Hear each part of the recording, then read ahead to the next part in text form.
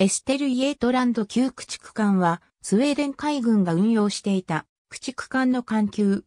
スウェーデン海軍は、まず1948年に3500トン級駆逐艦の計画の認可を受けて、建造に着手した。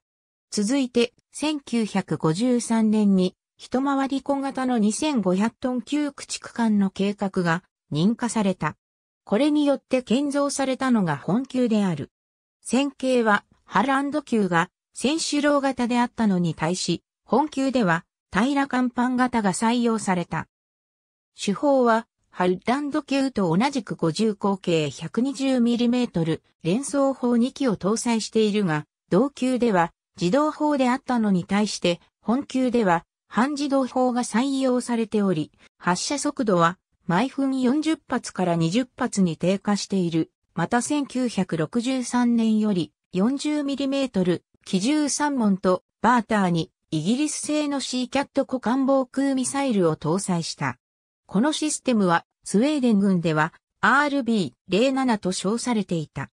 その後、艦隊をコルベット高速戦闘艇主体に改変するというスウェーデン軍の方針を受けて、後継艦は建造されず、ハルランド級と共に1982年までに運用を終了した。ありがとうございます。